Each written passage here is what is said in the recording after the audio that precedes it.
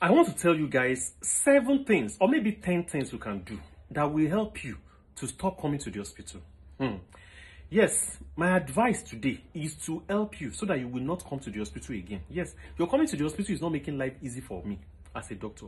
In fact, most of the time when you are coming to the hospital repeatedly, any good doctor well, of course, will be like, ah, madam, what's happening, sir? Why are you coming again? But inside, I'm like, what is you now? What now? That's how we feel inside. But outside, we start and look as if we are caring. So now, back to those seven things. And listen, listen. See how see my face. See how tired I look. Okay, we are not even getting enough time to enjoy our own lives. Not talk of spending money. You understand? So your money is not what we are after. It's your health we are after. When everybody is healthy, all of us can now make money and we can enjoy life. Doctor too can go on vacation. I can go and see my wife. Sure you get. Mm-hmm. Now, step one. I've been telling you since. Exercise, exercise, exercise. Mm? 30 minutes once in one one day in two. That is 30 minutes three days in a week. Do Monday, Wednesday, Friday. and then after Friday, do Sunday again. Just do it like that. It helps. Whether you are jogging on a spot, you are squatting, you are doing push-ups, you are doing pull-up, or you are lifting weights, just or you are skipping.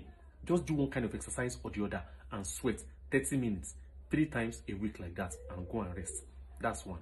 Step two, drink enough water. I cannot overemphasize it. All the body's metabolic processes need water. And so take at least two to three liters of water in a day. Okay?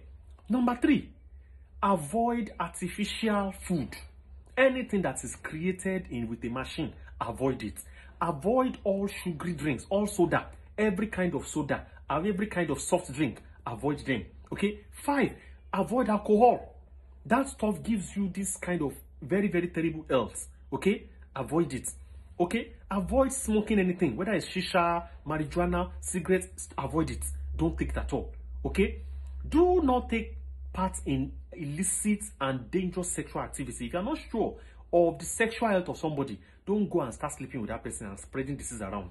Hmm? Okay, one other thing. Please ensure that you take fresh vegetables every day.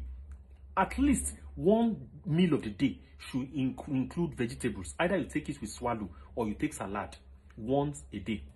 Take fruits, one fruit a day, whether it's one banana, a slice of pineapple, a slice of watermelon, any of your favorite fruits, just one fruit a day.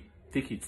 Now, there are some superfoods that have been shown to have good effect on the health. Things like moringa, both the leaf and the seed. Uh, things like uh, scent leaf. And people have even talked about uh, lime. Lime especially has been studied that, that has very, very, very good health effects. It helps you to boost your immune system, gives you vitamin C and a lot of other minerals too. And it can actually help you to boost the whole of your system. Please take all those things. Mm? And then if you have any particular condition that you are seeing a doctor for, whether it's hypertension, diabetes, or something like that, please go regularly. It is easier to continue treating hypertension than to be on admission for stroke. I know what I'm talking about. Okay, if it is asthma, anything that you know that you need to see a doctor regularly for, don't wait for the doctor to call you. Go for your appointment.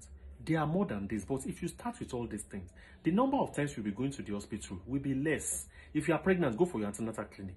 Do your ultrasound scan when you're supposed to be doing it. So you are at the end of the day, you only see the doctor when it is necessary. And the few doctors left in Nigeria will not look as if they are going to die tomorrow. We too will be able to have time to spend the little money we have and enjoy our life. Stress kills you, and it is killing doctors too. So help your doctor today and take these points I've given as advice and start using them to guide how you live your life.